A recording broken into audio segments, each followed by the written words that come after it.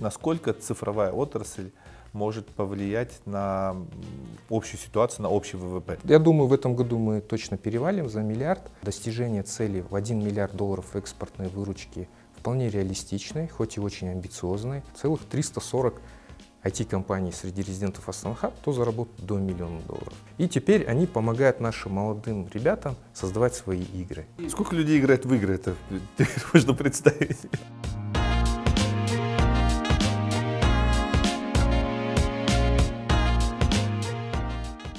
Астана Хаб – это международный технопарк IT-стартапов, миссия которого – развивать IT-отрасль Казахстана. На сегодня около 1400 компаний являются резидентами технопарка и генерируют выручку 875 миллионов долларов в год. Из них 315 миллионов долларов в 2023 году составила экспортная выручка – также в 2023 году резиденты Астана Хаб экспортировали услуги в 86 стран мира. Более 50% экспорта услуг приходится на США, Россию и Ирландию. Резидентами Астана Хаб являются такие IT-компании, как Citix, Сергек, Чокофуд, Озон, OneFit и другие. Они получают комплексную поддержку, включая программы развития и масштабирования бизнеса, специальные налоговые и визовые условия, информационно-образовательное сопровождение и материальную инфраструктуру. Астана Hub является эксклюзивным партнером Google for Startups и Draper University в Центральной Азии. Кроме того, в Астана Hub функционирует несколько инновационных центров, включая блокчейн, Space Tech, 5G и другие, ориентированные на разработку и масштабирование проектов, базирующихся на искусственном интеллекте. Ключевые цели Астана Хаб – увеличить IT-экспорт к 2026 году до 1 миллиарда долларов в год, а также взрастить технологического единорога. Всем привет! В эфире очередной выпуск программы Байтасов Лайв. Сегодня мы в Астане, в центральном главном офисе Астана Хаба, очень известная компания. В гостях у генерального директора и человек, который придумал эту идею, можно сказать, Макжан Амадеев. Макжан, рад видеть. Прошлись по, сегодня по всем этажам. А, Астана Хаб вдохновляет. Я думаю, что все, кто сюда приходит, работать, э, стартовать, действительно могут э, вдохновиться даже самой атмосферой, которая у вас царит. Так что большое спасибо за приглашение. Рады э, быть вместе с командой у вас в гостях. И, конечно же, хотим поговорить про Астанахаб, как пришла идея. Э, организация это совсем молодая, а уже гремите по всей стране и за пределами, за пределами Казахстана. Как пришла идея создать Астанахаб, с чего начинали, с чего стартовали? Угу.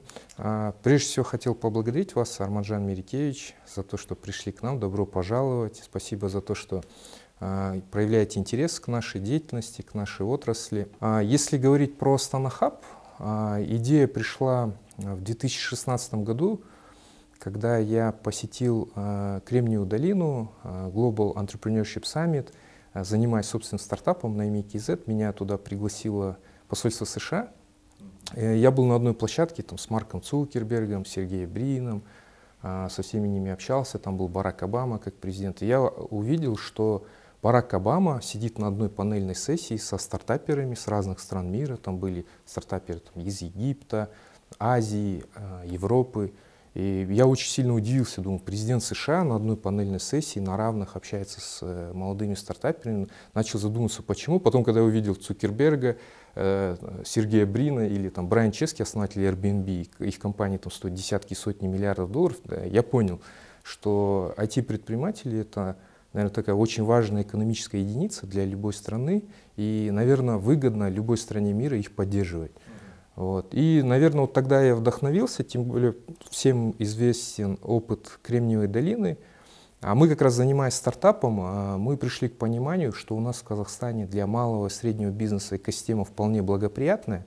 Можно легко открыть ИП, ТО, налоговая нагрузка, в принципе, там, не такая большая. Но если, если по мировым стандартам, конечно, у нас небольш... совсем небольшая действительно налоговая нагрузка. Да, надо отдать должное. На самом деле, вот среда для малого и среднего бизнеса вполне благоприятна. Но если ты занимаешься стартапом, тогда это в 2014-2015 годах не было ничего. А, ни понимания, ни венчурных инвесторов, ни акселераторов, ни знаний, э, ни какой-то критической массы предпринимателей, комьюнити. Что-то какие-то были э, успехи в Алматы, да, это мы знаем Choco, не знаю, там Авиата, Тикетон и так далее, и так далее. Но системно по стране такой поддержки не было. Поэтому потом, когда я вернулся, я просто об этом всем писал в Фейсбуке, свои впечатления, мысли и так далее. И параллельно в правительстве пошел запрос. Я помню, что в 2016 году впервые топ-5 самых дорогих компаний мира стали все IT-компании. Там был такой период времени, там вот эти фанк и так далее, Big Tech. И тогда пошел запрос, почему не, больше не финансовые организации, не, не нефтяные компании, а IT, надо, наверное, что-то предпринимать. А, и а, меня пригласили на совещание в правительство как стартапера и, и спросили, как можно вас поддерживать. Вот. И я просто, мы вот брейнстормили с другими айтишниками и, и предложили, вот строится экспо, давайте, может быть, после экспо сделаем здесь IT-хаб. Ну, как раз была идея, да. Нужно было чем-то загружать эти территории все, которые освободились да, после экспо. Да. И эта идея понравилась.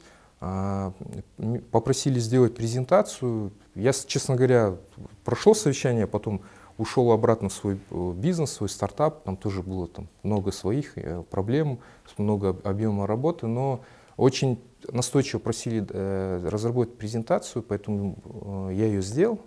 А, защитил а, у руководства страны, а, и с тех пор вот так получилось, занимаюсь Астанахабом.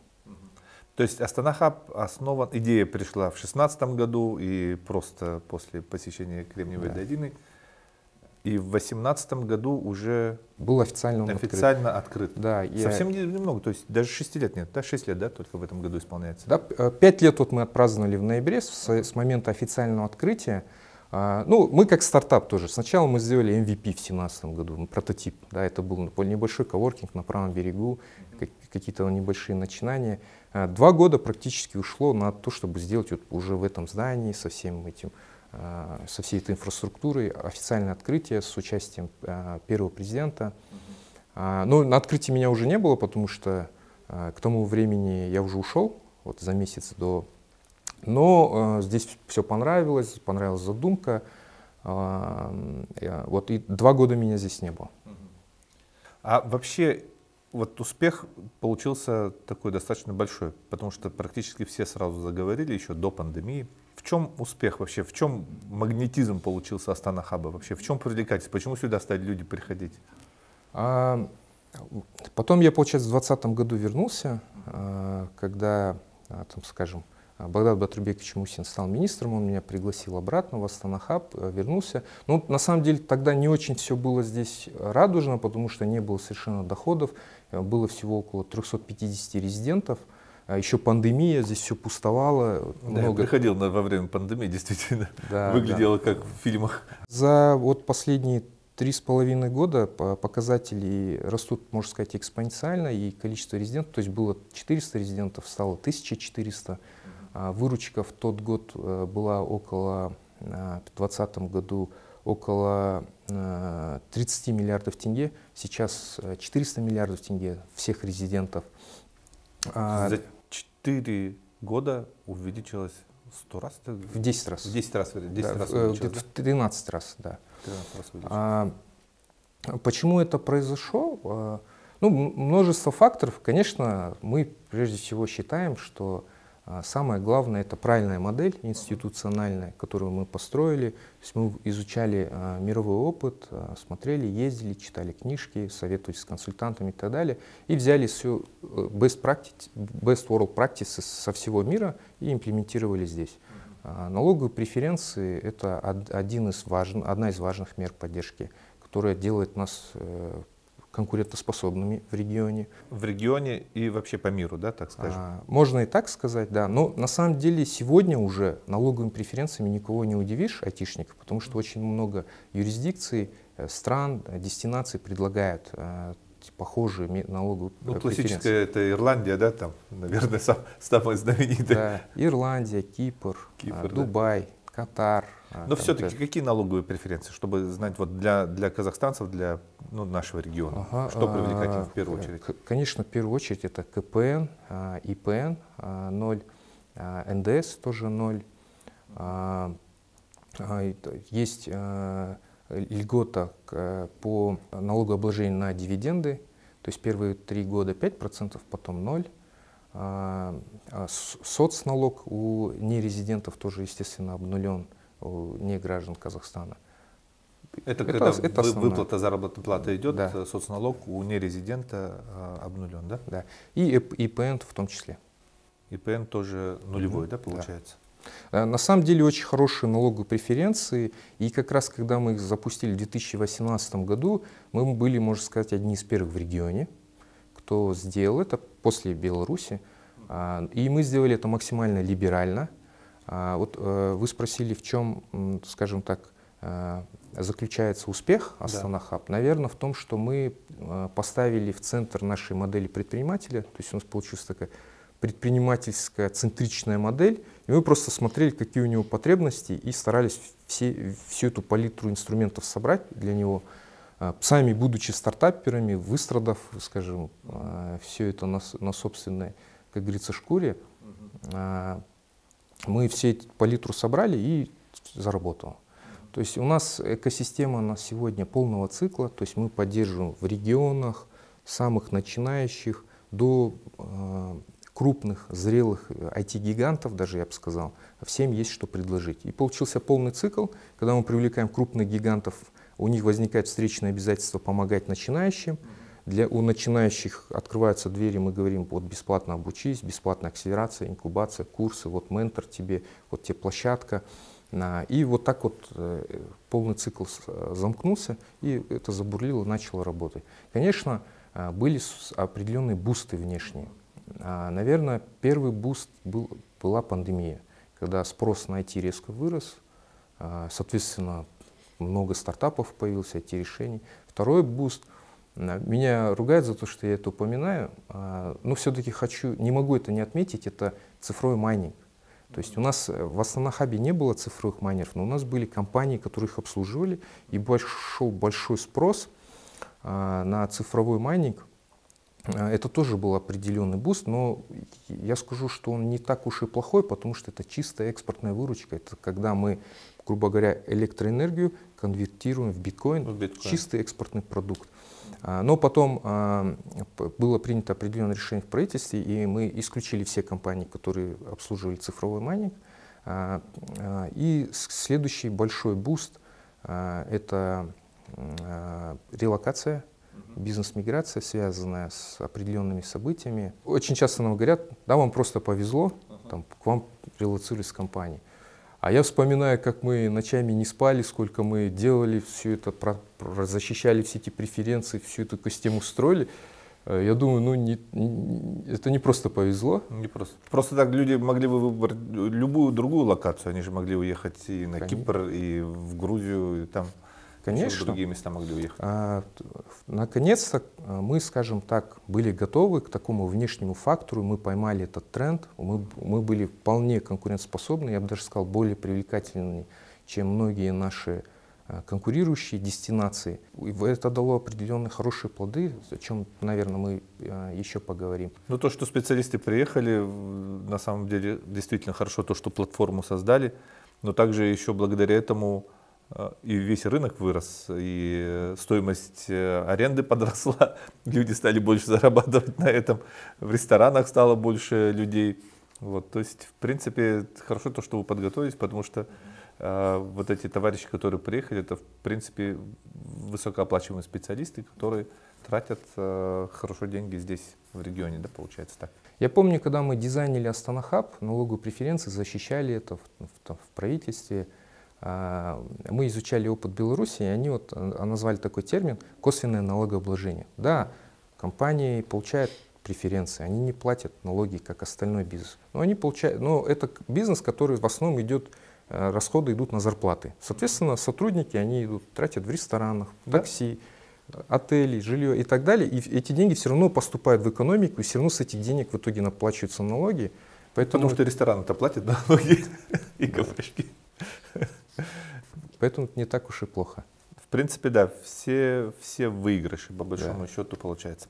Но про Астана Хаб мы еще поговорим. А, хотелось бы чуть-чуть побольше информации для наших зрителей непосредственно про Макжана Мадиева. Как получилось, что вы пришли в эту отрасль? Какое образование? Я хотел бы сказать нашим зрителям, что Макжан сам предприниматель, сам является сооснователем э, проекта «Найми КЗ», очень успешный проект, который привел, привлек на рынке более 2 миллионов долларов. И сегодня стоимость э, проекта достаточно высокая, да, порядка 17 миллионов.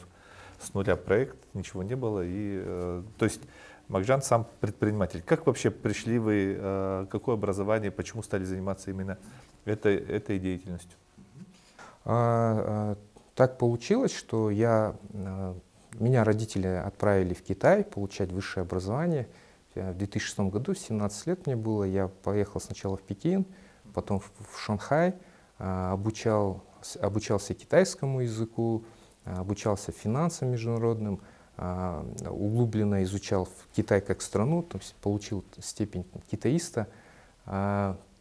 Но поскольку в то время, скажем так, бизнес с Китаем очень был востребован и очень сильно рос, многие студенты занимались предпринимательством там, и я, я помню еще самые первые айфоны привозил в Казахстан в 2007 году. Из Китая? Да.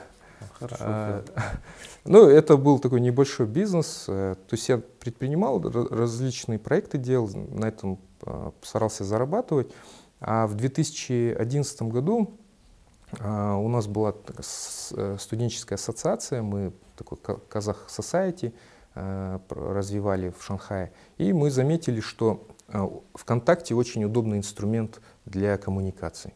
И тогда пришла идея, почему бы не создать собственную сеть казахстанскую. Мы создали одну из первых с друзьями казахстанскую социальную сеть, назвали ее э, Казахстан Connection. А у нас было там, несколько тысяч пользователей. Ну, это хорошо. хорошо. Да, в, э, в то время, в 2011 году. Ну, в команде было три человека. А, это мой друг, Хоныш, э, программист. Я сам дизайнил, там, Ерлан операционно все это управлял. Почему вот улыбаетесь, как будто бы это такое детская забава? Это, в принципе, могло уже превратиться в нормальный бизнес? Или у нас в Казахстане не, не, не хватило мощей, чтобы я создать вот, свою соцсеть? Я вот думаю, почему мне тогда не пришла идея вот, пивотнуться в сторону ТикТока ага. и сделать ТикТок? Могли бы, кстати, могли бы. Я, я когда смотрю на успех ТикТока, думаю, чуть-чуть э, не догадался. А, не хватило, наверное, кругозора, какой-то экосистемы. И вот э, несколько... Astana Hub а еще тогда не было. Не было вот этой среды, может быть, больше? А, на самом деле была такая возможность. Я вполне отдаю себе отчет. Мы могли создать ТикТок. Как раз ТикТок, он же зародился в Пекине. И вот несколько стартапов я запускал как студент, э, провалил их успешно, но зато получил хороший опыт. А, и когда я вернулся после учебы в Казахстан, я твердо уже решил, что буду предпринимателем. А, мы а, открыли Digital Agency, соответственно, с этим опытом я начал создавать там сайты, digital маркетинг делать клиентам. Мы стали хорошо расти, у нас уже там до 15 сотрудников за год, мы стали там, зарабатывать, путешествовать с нашими партнерами. Ерлан, мой партнер, у него было клининговое агентство, он тоже уже начал большие объекты обслуживать. Вот. А потом к нам присоединился наш друг Улан, и он говорит, давайте сделаем, объединим клининговую компанию Digital Agency и сделаем marketplace. Mm-hmm. Тогда, мы, тогда еще не было такого слова marketplace в обиходе, мы назвали это агрегатор. Mm-hmm. И мы тогда, скажем, выйдем из скобок, за скобки и станем администрировать платформу, и можно будет масштабироваться. Mm-hmm. Понимая там, э, прелести IT-бизнеса, что это масштабируемый бизнес, мы начали этот проект – а, нам удалось а, привлечь инвестиции. Это 2015 год, начало, миллион долларов мы привлекли. Миллион долларов в 2015 году? Да. А, Это серьезно, очень серьезно. Да, мы использовали такой лайфхак. Мы засняли видео и выпустили в Ютубе, что вот за, мы, молодые предприниматели, за три месяца привлечем миллион долларов инвестиций. Если не получится, то разыграем свой автомобиль среди всех, кто сделает репост. Тогда вот еще был ВКонтакте популярен, только Инстаграм набирал популярность. И у нас получилось 5000 репостов, ага. пошел такой хайп, хотя в то время такое слово не использовать. Вот. Э, и на нас начали выходить инвесторы. А что за проект? Давайте посмотрим. И вот и один э, предприниматель крупный в нас поверил, подумал, вот молодый, э, сравнил себя с, с нами в молодости. Поверил, подписал с нами этот договор, перевел нам первый транш. Тогда это было порядка 250 тысяч долларов. Для нас это большие деньги.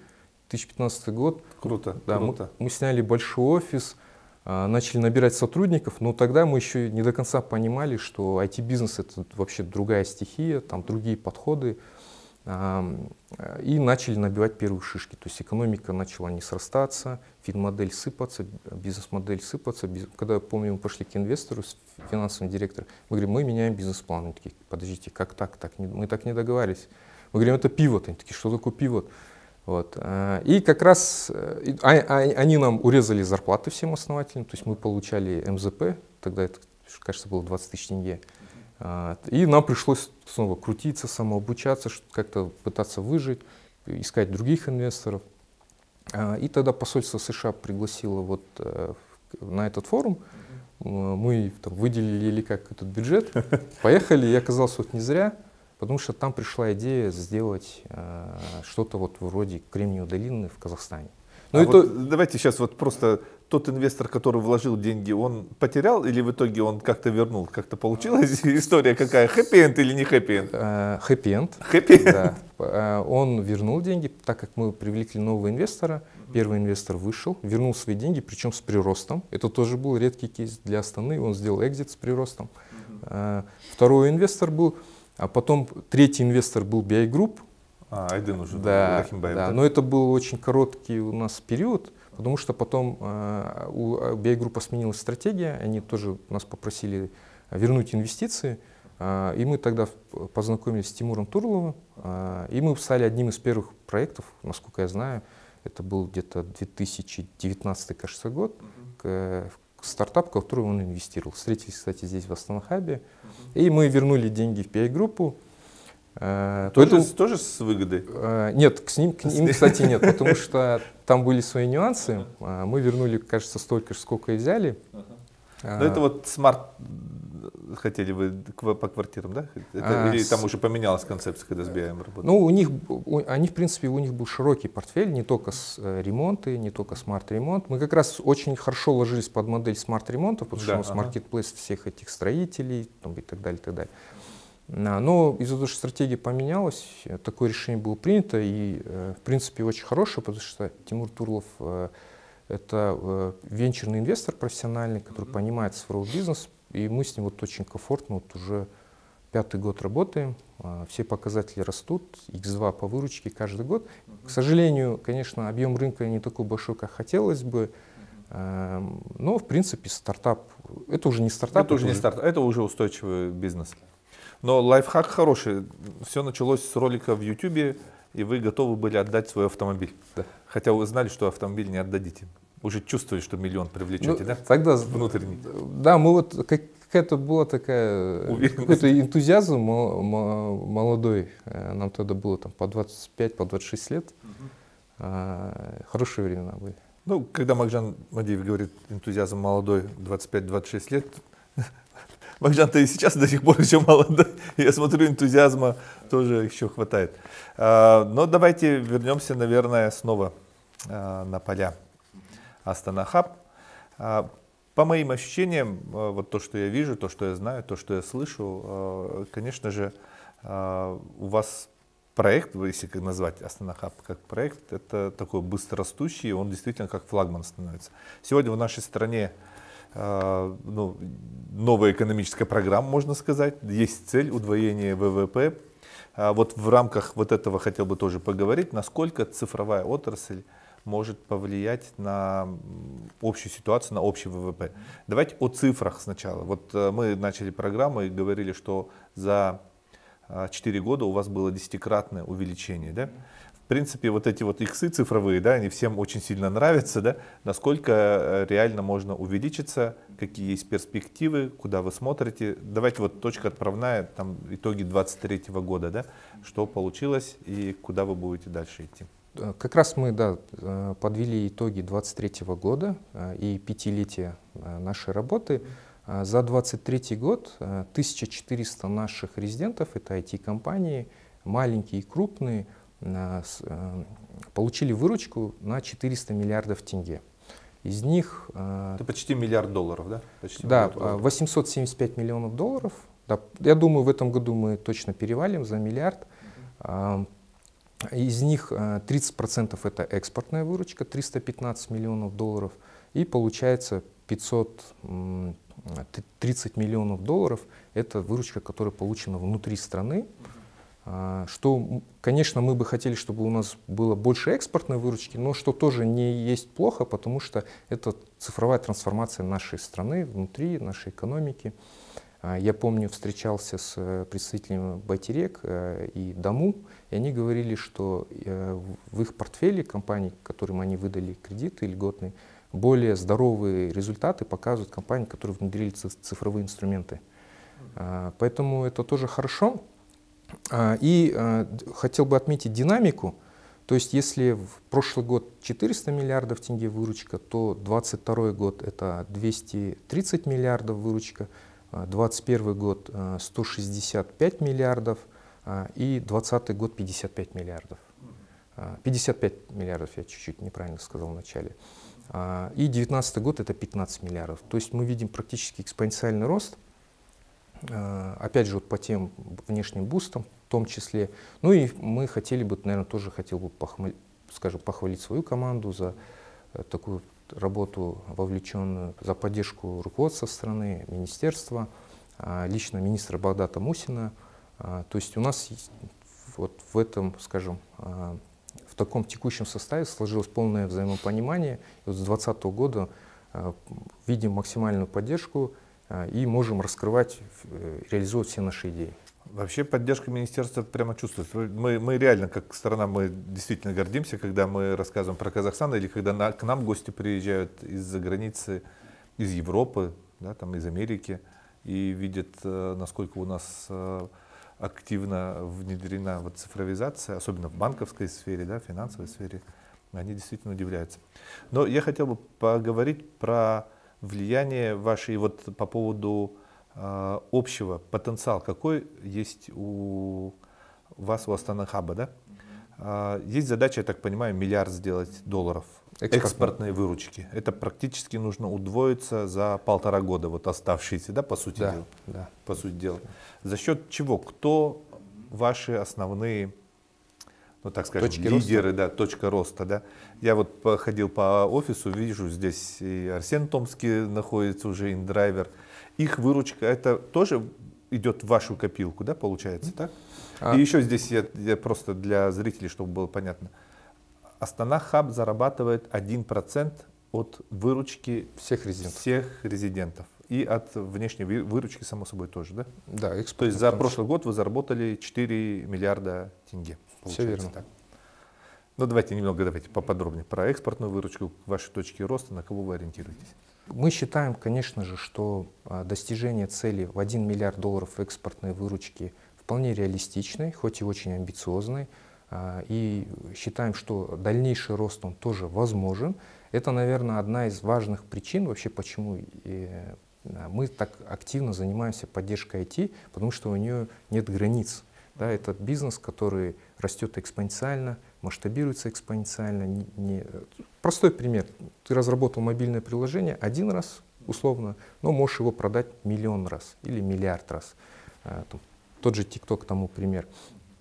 А, конечно же, а, соответственно, там может быть и, если совсем далеко вперед заглянуть, и 10-20 миллиардов долларов экспортной выручки мы можем достичь.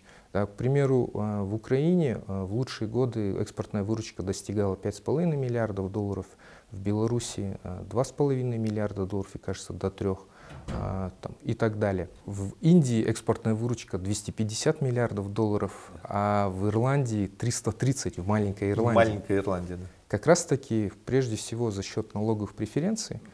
И, конечно, это, как говорится, очень выгодно для всей страны, beneficial, то, что мы отметили ранее. А в чем же мы видим точки роста? А, опять же, у нас экосистема полного цикла, поэтому мы видим точки роста на всех э, этапах э, развития IT-бизнеса, то есть это и поддержки начинающих, малышей, как мы их называем, среднего бизнеса, крупного бизнеса.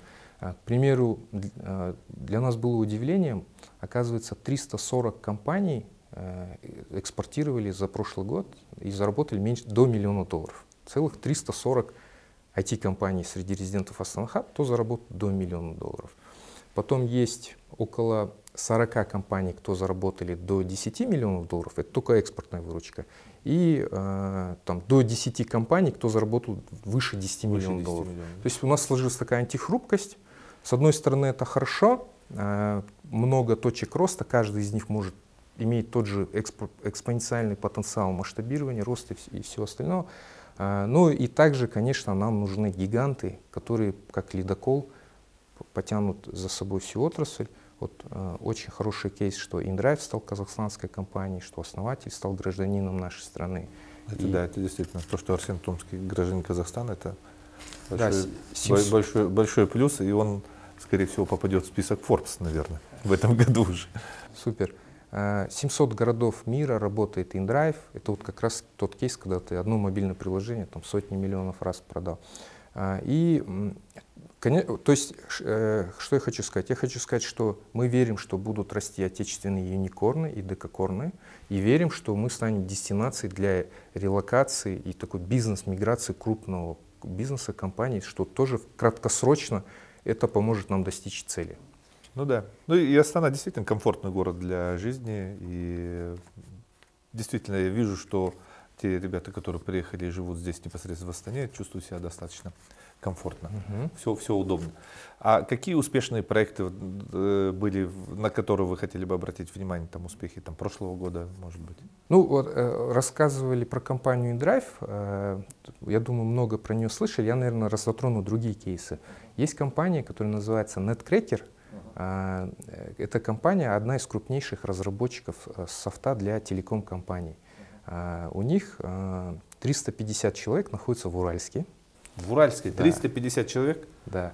Круто. И это очень тоже хорошо для ага. наших регионов, то есть это тоже, скажем, э, рост для экономики.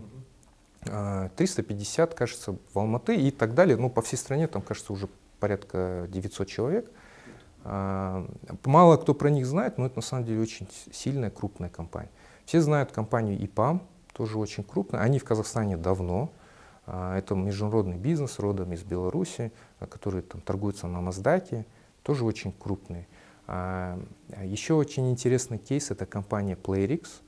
Это крупнейший геймдев разработчик. А, то есть они в, в лидерах мировых по, э, в сфере разработки мобильных игр. А, и вот буквально э, глава PlayRix на днях выступал, на прошлой неделе выступал вот в министерстве, 2,8 миллиарда долларов их годовая выручка. То есть он показывал портфолио своих игр, он говорит, вот у нас там несколько игр, каждая из них уже заработала по миллиард долларов. Нереально. Да. 2,8 миллиарда годовая выручка. Да. Это очень круто.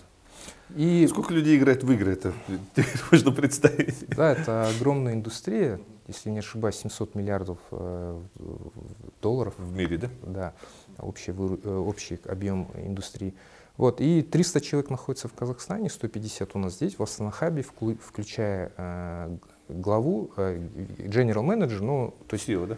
можно сказать, CEO, да. да. Он здесь, ему комфортно, а, мы тоже их сопровождали, а, создавали определенную среду. И теперь они помогают нашим молодым ребятам создавать свои игры. Менторят их, дают экспертную поддержку. А, и мы вот Таким образом пытаемся собственную геймдев-индустрию казахстанскую развить. А, тут сразу хотел бы отметить, что есть и казахстанские э, компании, это O Games и Medout Games. Э, наверное, их выручка это больше пока коммерческая тайна, но могу отметить, что это вполне впечатляет. Они у нас находятся вот э, в топ-30 экспортеров из всех наших резидентов. Ну, это в топ-30 это уже понятно, что порядка 10 миллионов даже если, если это тайна. Да, а, для себя, для нас тоже было открытие, оказывается, по геймдеву, а, второй, по экспортной выручке геймдев занимает второе место в Астана Хаб. Никогда я бы сам этого не, не подумал. Но вот э, первое место это software development, development, outsourcing, порядка 120 миллионов долларов. А второе место геймдев, порядка 70 миллионов долларов. Кстати, вот я говорил о том, что мы очень верим, что появятся а, собственные юникорны. Вот у нас есть очень хорошая новость, довольно свежая. А, стартап Citix хотя сегодня это уже крупный бизнес, ну, но... Citix, да, уже не стартап. А, да, а, они у нас проходили акселерацию Google for Startups, потом мы их направили по программе в Кремниевую долину, в Draper University на 6 месяцев. Яна, вот он такой очень сильный предприниматель, мы в нее очень верили, и оказалось не зря, она привлекла инвестиции от а, мистера Тима Дрейпера. Тим Дрейпер — это, можно сказать, а, очень известный венчурный инвестор. Его дедушка был самый первый венчурный инвестор Калифорнии, то есть это династия. Его дети сейчас тоже занимаются венчурной. Очень известная семья и уважаемая в Кремниевой долине. Они ранние инвесторы в Tesla, SpaceX, Skype, Baidu и так далее. А, и вот они впервые инвестировали, он впервые инвестировал в казахстанский стартап Citix Казахстанскую компанию. при оценке 100 миллионов долларов. Сумма была небольшая, но оценка хорошая. И самое главное, что эта оценка подтверждена на глобальном уровне профессиональным инвесторам. Это тоже была такая у нас э, интересная история, когда мы пригласили э, мистера Тима Дрейпера на наш форум Digital Bridge для встречи, для выступления и встречи с, э, с нашим президентом. А, я именно Яну попросил, чтобы она сопровождала его, встретила его в аэропорту, потому что я примерно понимал, что самый такой высокий э, investment readiness у, у Citix, и они вот хорошо разговорились, и как раз вот именно тогда они договорились вот об этой сделке, и вот недавно это было объявлено. Поэтому вот это такая одна из а, наших, скажем, а, звездочек, в которую мы очень верим, что она может вырасти э, до миллиардной компании и даже больше. Ну, мы тоже верим, да. И желаем успеха Яне и команде Ситикса. А, вот еще, наверное, одну тему, которую хотел бы пошире а, развить. Как прийти и стать резидентом Астана Хаба? Вот а, ребята верят в идею, такие же молодые, приехали из Китая, учились, может быть, им там по 20 лет, и решили стартануть. Какие возможности, как вы их э, э, ну, привлекаете, потому что вы же тоже заинтересованы, чтобы у вас были молодые стартаперы, да? Какие есть возможности для обучения, для поднятия квалификации? Как встречаете молодых предпринимателей здесь? А, я обычно рекомендую тем, кто хочет заняться IT, первое, подписаться на наши соцсети, потому что там все анонсы всех мероприятий. Потом вот все сети мы сейчас дадим, смотрите, вот здесь ниже, подписывайтесь на Астана Хаб. Это очень хорошая рекомендация, да. Да, подписаться на наши соцсети и отслеживать события, программы, мероприятия, которые вам интересны.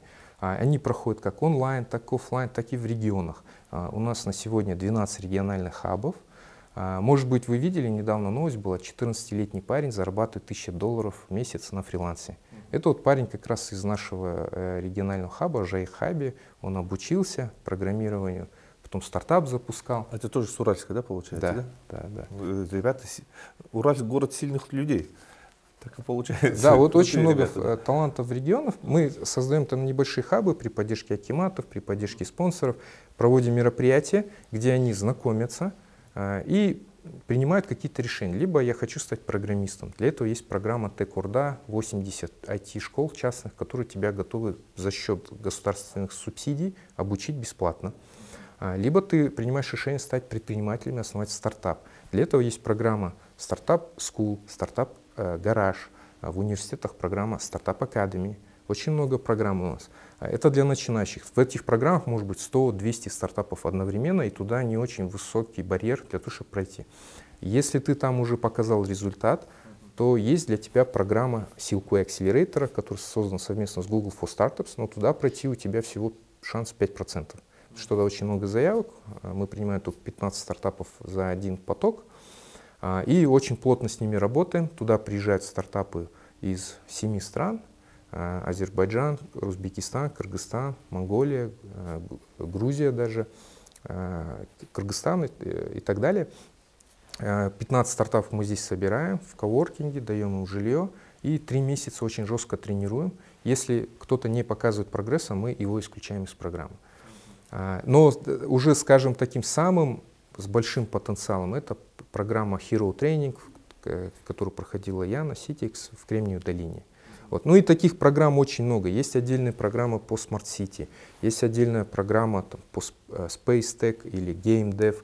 Поэтому э, все это есть на платформе astanahub.com. там можно везде подать заявки. На самом деле все очень инклюзивно, открыто, пожалуйста, подавайте, многие программы бесплатные. Также, наверное, хотел бы отметить возможность э, вдохновиться примерами, как делают другие э, ребята, стартапы. Это форумы наши, Digital Bridge, в Астане самый крупный Digital Алматы э, проходит тоже. Приходите, участвуйте, все очень открыто. Да, мне вот еще понравилось то, что мы проходили по Level 42, да, вот этот вот проект тоже очень хороший и тоже рекомендовал. Может быть, немножко подробнее расскажете, как это работает? А, да, школа, э, в оригинале она называется Эколь 42, школа 42 с французского. Э, Ее создал Николя Садирак в 2013 году, когда он понял, что э, ботлнеком, узким местом для развития IT-школ является дефицит преподавателей. И он создал новую модель, -peer, где нет преподавателей, нет лекций, а, модель строится на том, что студенты самообучаются и помогают друг другу в обучении, в решении задач. И оказалось, что в IT эта модель очень эффективна и успешна, потому что очень важно постоянно уметь, иметь навыки самообучения, работе в команде. Э, поэтому на сегодня 100% выпускников трудоустраиваются. Во Франции там вообще очередь на каждого выпускника, десятки компаний выстраиваются. Ждут, да, да они перебивают свои джоб-оферы, потому что эти ребята, они более приспособлены для того, чтобы а, решать задачи в software development. А, конечно, это а, junior или там, early, а, или, скажем, ранний middle а, разработчики, но которые быстро обучаются. А, и эта модель очень успешна, мы планируем ее масштабировать. Не, на самом деле очень хорошая. Я так понимаю, что в принципе э, любой может прийти к вам и за, э, стать участником этого проекта абсолютно бесплатно, да, да получается? Да, э, везде, в основном во всех программах конкурсный отбор. Mm-hmm. То есть вам нужно показать, что вы более конкурентны, чем конкурирующие, скажем, кандидаты.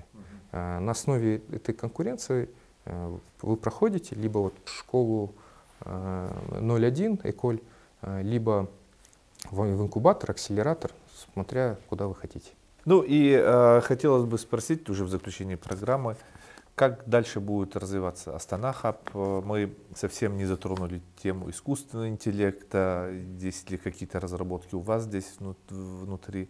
И вообще, куда движется весь мир digital на сегодняшний день, тренды? Э, да, как раз таки мы видим, что следующим бустом для индустрии, для Astana Hub и для IT-отрасли Казахстана э, должен стать Э, искусственный интеллект. Это технология, которая беспрецедентная, э, очень значимая, и это э, тренд, который будет расти десятилетия, по, нашим, по нашему мнению. Естественно, мы здесь хотим тоже не оставаться в стороне.